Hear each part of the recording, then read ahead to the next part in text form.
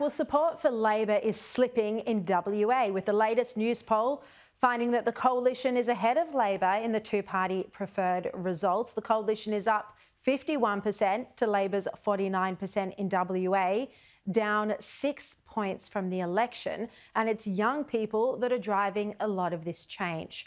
Overall, though, the Newspoll found that Labor is still ahead of the coalition, 52 to 48. Well, joining me now, Headline Advisory Director Andrew Carswell, former media advisor to Scott Morrison, and GXO Strategies Director Cameron Milner, former Chief of Staff to Bill Shorten. Great to see you both. And I should mention this, uh, this is our weekly Monday Political Insiders panel. Um, Andrew, how worrying is this result in, for the government, and how significant is it that the coalition could be looking to pick up seats in WA? Well, it's certainly troubling for Anthony Albanese. I mean, they are clearly on the nose in WA. Uh, and this is what happens when you take mining for granted. When you take mining for granted, you take Western Australia for granted. And the people of WA, they're, they're smart people. They've, they've cottoned on to the fact that they're being taken for granted here. And it's having a direct result on the poll numbers over there. I mean, they are in line to lose two seats uh, uh, uh pretty quickly uh, and going backwards into minority government. Uh, but this is a government that has just decided not to support the mineral sector in any way, and in fact penalise the mineral sector. They don't want. They don't even want to acknowledge it. I mean, we have a treasurer who mm. can't really bring himself to even say the word mining. Uh, I mean, if you go through his transcripts of his budget speech, his economic updates, uh, his national accounts press conferences, the last time he mentioned the word mining, September 22. Mm. It's a mm. long time ago. They mm. just do not want to acknowledge it. I mean, in his budget speech, he said he referred to mining as things we send overseas. They can't bring themselves to even say it, let alone support it. And yeah. that is the problem. And you've got industrial relations policy, you've got environmental policies that are going to just push out approvals, bring down investment, and, and bring down job creation as a result as well. It's no wonder WA are bolting. Mm-mm. What do you think this means for the general election, Cameron Milner?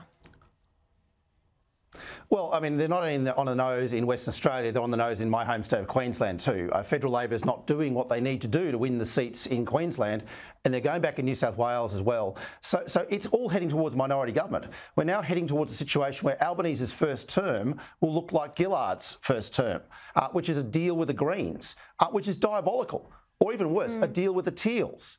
Um, mm, so no, mm. I mean Labor should be doing more in office to get their primary up, and they aren't and we're looking towards a Labor minority government. Albo might be happy to be PM, but it won't be a Labor government and it won't be delivering for Labor families if the Greens are in charge or the Teals. No, absolutely.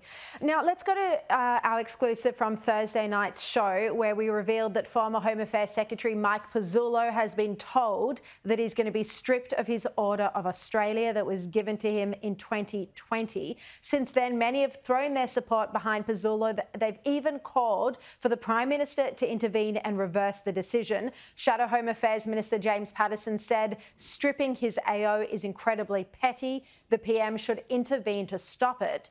Then, just today, Strategic Analysis Australia Director Peter Jennings said that stripping Pezzullo of a deserved Order of Australia awarded four years ago for a significant career in national security is unacceptably punitive. If it happens, the government will claim it's the result of independent processes. Be assured that nothing in Canberra happens unless the Prime Minister wants it. Well, we asked the Prime Minister's office whether Albanese was going to reverse the decision. A government spokesman has told us this is a standard review automatically triggered by the Australian Public Service Commission findings. It is independent from government and still ongoing. Questions about the process should be directed to the Honours Council. So, Andrew, there you go. As Peter Jennings predicted, the Albanese government is saying, oh, nothing to do with us. This is an independent process. Well, Peter Jennings is rarely wrong, um, and he's, he's certainly right on this occasion. I mean, this is just childish. I mean, I'm, absolutely, he, you know, Pezzullo showed a, a, little bit of an error of judgment in, in cozying up to government in the way he did. Uh, but the punishment doesn't fit the crime. Uh, we're talking about little gossipy mes- messages being sent on text. It's, it's hardly warranting uh, the removal of such an award. I mean, what you can't take away from Mike Pezzullo is the incredible amount of accomplishment that he achieved as one of Australia's strongest uh, public servants in, a, in, an era where he had to knit together a, a, a monster portfolio department. Uh, when you know, and, and add to that the fact that he was pivotal in, uh, in Operation Sovereign Borders. I mean, the, the dude uh, deserves his award and more. Mm. Uh, mm. and yet it's being stripped away or, or, potentially being stripped away by petty politics. Yeah. Look, I went through on Thursday night the reasons um, you know, the findings against him. So I'm not going to go through the detail of those now. But ultimately, Andrew, you are right. They were gossipy messages with a political lobbyist. Uh, Cameron, most people who have their Order of Australia stripped or other honours stripped pretty much all of them are where there has been a criminal conviction, you know, serious crimes or pedophilia. I mean, it's the complete opposite with Pezzullo. Absolutely. Absolutely. And look how good the borders are under O'Neill and Giles right now without Pezzullo's influence. I mean, you know, I mean, Pezzullo stopped the boats and kept us safe. I mean, and he deserves the AO for that alone. Um, but he was a was a servant of the Labor Party many years ago, a fine public servant. Uh, he does not need to have this retrospectively done to him. And to your point, it's not a fraud or criminal act that he's undertaken. It was a error of judgment uh, that, that hurt no one in the end. Uh, and so, yes, it would be incredibly petty politics to remove this AO from him, given how well he did in the service of this country. Mm. All right. Well, look, given how Albanese has been slipping in the polls, the Sydney Morning Herald has done this big piece today on the candidates for Labor leader, the succession plan. Um, Andrew Carswell, what I think is most disturbing about this report. Look, I've been reporting for a long time that Tony Burke considers himself a leadership candidate. I've said how ridiculous that is. But mm-hmm. the Herald today says that he's the next most obvious leadership candidate. What a joke. Well, Sharri, it's a roll gold list of underachievement, um, this, uh, this article. Uh, uh, yes, he does uh, view himself as, as a future leader, but the problem is he's disliked by his own faction.